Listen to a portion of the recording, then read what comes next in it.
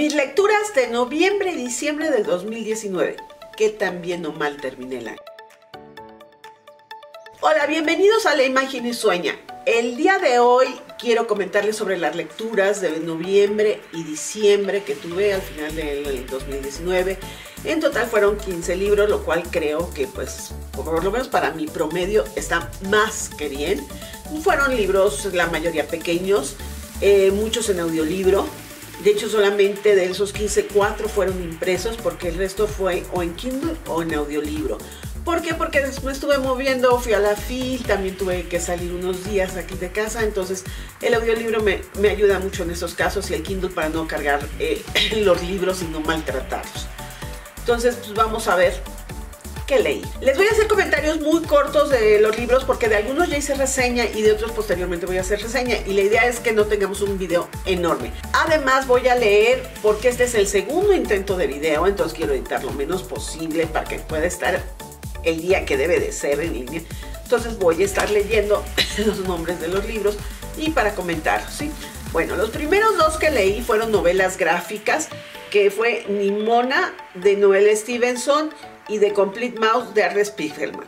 Bueno, eh, la novela gráfica, como ya les dije, estos dos libros es la primera vez que tengo contacto con ella. Fue una gran sorpresa. Yo tenía una idea muy equivocada de que eran lo mismo que un cómic y es muy diferente. Me di cuenta que novela gráfica es una cosa, un cómic es otra y tira cómic es otra. Pero la gran sorpresa es que tienen historias completas las novelas gráficas. Entonces, las recomiendo. Las dos son geniales. Tercer libro que leí es Lía aquí y ahora de Durne Cadelo.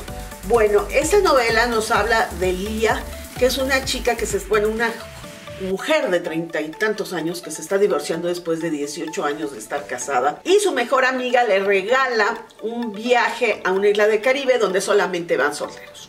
Y ahí conoce a Axel, que es un chico más joven que ella, con el cual empieza a tener una relación. Eh, es una novela que creo que es muy predecible.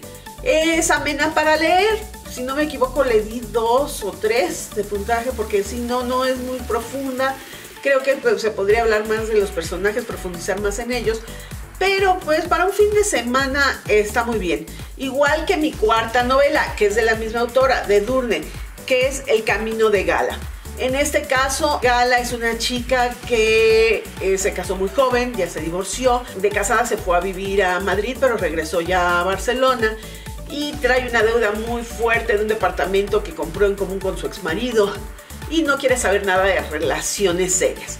Y se va con su amiga Zoe a lo que es el peregrinaje al camino de Santiago Compostela, donde eh, conoce a un chico que quiere tener una relación seria, ella no quiere tener relación seria, él es muy ordenado, ella es muy desordenada, y bueno, es todo lo de la relación.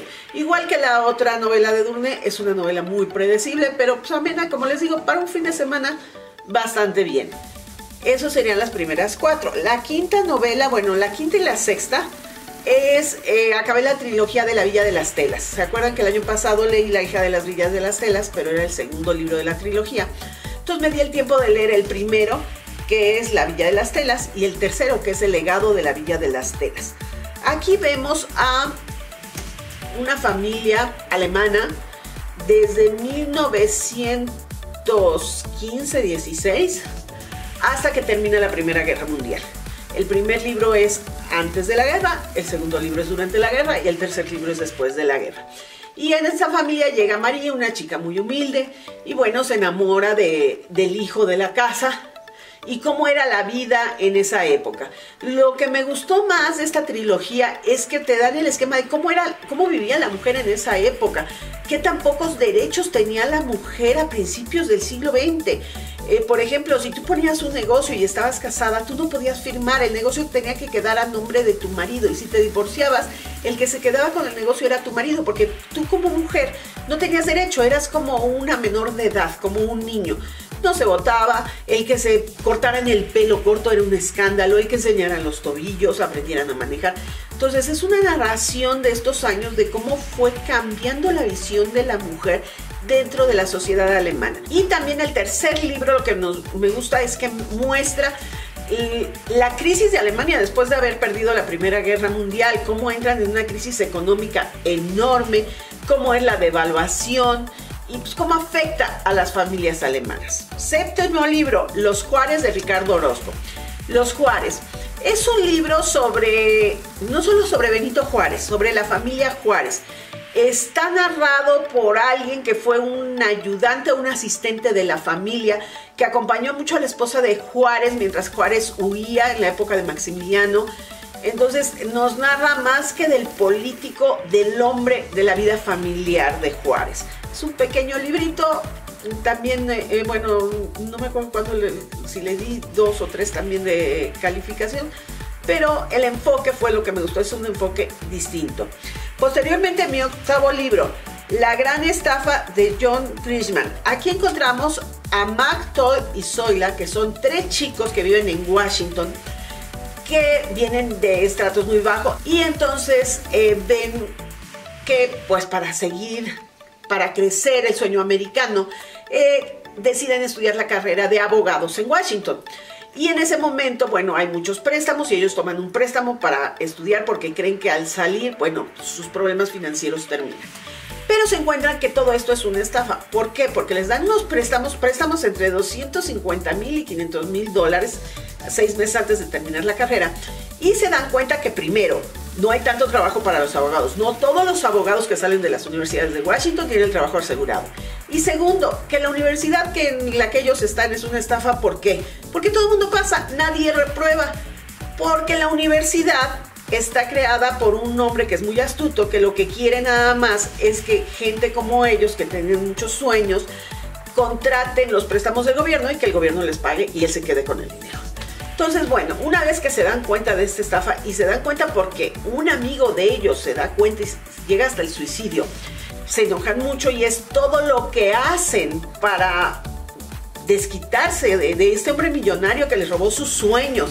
Y como este hombre millonario pues también tiene gente a su cargo y se da cuenta de que lo quieren engañar. Y bueno, es todo el juego de la estafa. Luego venimos con, ay, un librazo. Lo mucho que te amé de Eduardo Saqueri.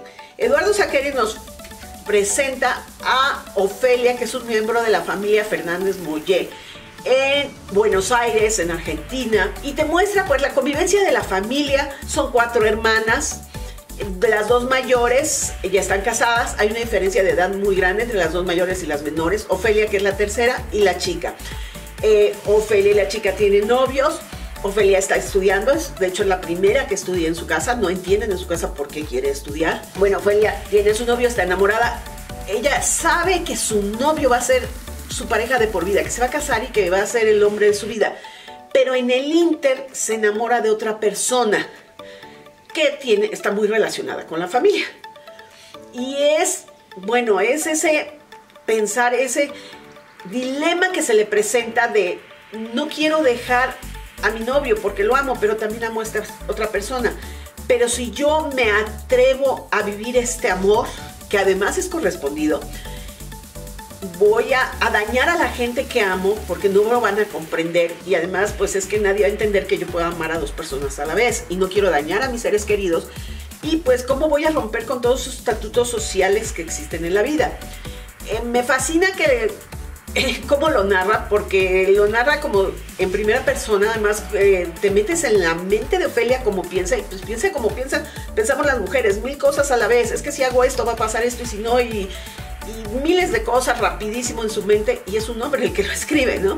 Y otra cosa que me fascinó, lo escuché en audiolibro, si pueden escúchenlo en audiolibro en Storytel, eh, lo narra una argentina con el tonito argentino que me fascina, sus palabras. Entonces es una novela, su contenido, la forma de narrar, magnífica, súper recomendable, de lo mejor que leí el año pasado. Después de esta novela tenemos en octavo lugar El Jardín de las Mujeres Berelli de Carla Montero.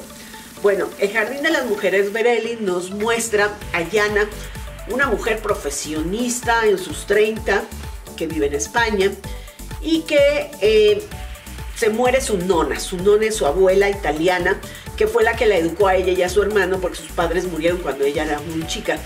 Y tiene una tienda y cuando van a, pues, a checar las cosas de la tienda de su nona, se encuentran unas cartas y ven que su nona venía de un pueblito italiano y que traía una historia bastante pesada atrás. En ese inter, eh, bueno, esta chica sale embarazada, su, su pareja, por decirlo así, porque pues no era una relación, por así decirlo, estable, es un hombre artista casado y pues lo primero que le dice, pues te embarazaste, pues te deshaces del niño. Ella no está muy de acuerdo, de hecho ella no sabe qué hacer. Su, también en el ámbito profesional, ella es una especie de arquitecto y tiene un proyecto que puede llevar en Japón, pero pues no lo, le dicen claramente, si estás embarazada, olvídate. Entonces ella decide tomarse unos días para pensarlo, que se convierten en semanas, y se va al pueblo de la nona en Italia. Y el resto del libro lo que nos narra es la historia de la nona desde que nace hasta que por qué se va de, ese pueblo y por qué nunca regresa, que es una historia bastante complicada y pues la historia y cómo resuelve sus problemas. La verdad es que también chiclit, pero muy recomendable. Si la pueden leer, léanlo, cuatro estrellas, porque las dos historias son fascinantes. Después tenemos, mañana tenemos otros nombres de Patricio Prom. Mm, no me gustó. He visto reseñas fascinantes de él. En la FIL hablaban que es un libro maravilloso, pero a mí no me gustó. La historia de una pareja que empieza cuando terminan su relación y luego a lo largo de ciertos años que siguen siendo amigos y cómo vuelven a estar juntos. Pero lo primero que no me gustó es que no ponen nombres. No hay, no sabes cómo se llama ella, no sabes cómo se llama él, no sabes cómo se llaman los amigos, cómo se llaman los vecinos. Entonces te pierdes en la lectura porque no sabes, hay veces que no sabes de, híjole, ¿y de quién me está hablando? A ver, ¿de quién? Y te tienes que regresar para ubicarte.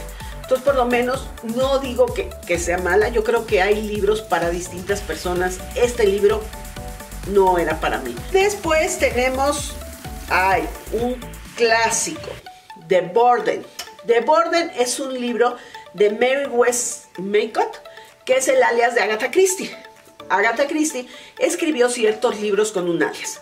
Y aquí es, bueno, no es un libro de detectivesco, aunque sí hay un asesinato, pero básicamente lo que nos plantea en este libro es como cuando tú quieres muchísimo una persona, aquí son dos hermanas que se quieren mucho, una que le lleva como 8 años a la chica, y la hermana grande adora a su hermana y ve que la hermana pues no toma decisiones que ella cree que sean correctas y que vayan a ayudar a su felicidad.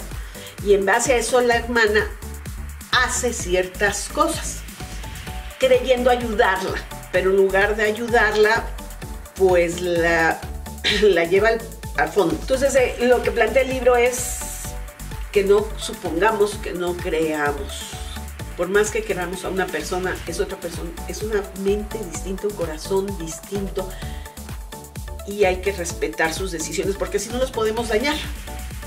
La verdad es que para hacer novela de Agatha Christie no me fascinó, digo yo, todas las de Agatha Christie normalmente le pongo cinco estrellas, a esta tres y media. Vamos al libro número 13, El amante japonés de Isabel Allende.